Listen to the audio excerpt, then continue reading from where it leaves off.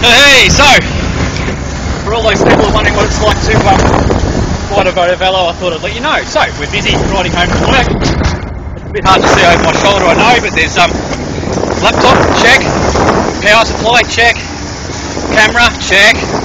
I've got uh, change of clothes, got long pants, got a jacket, check. Steel cap boots, check. Got a towel in case I'm too hot, check. Got me uh, CamelBak there, check. And what's this down here? Oh, look!